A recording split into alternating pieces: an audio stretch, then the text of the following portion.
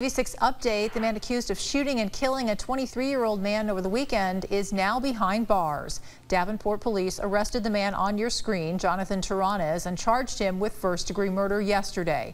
He was officially booked into the Scott County Jail today and awaits his first court date.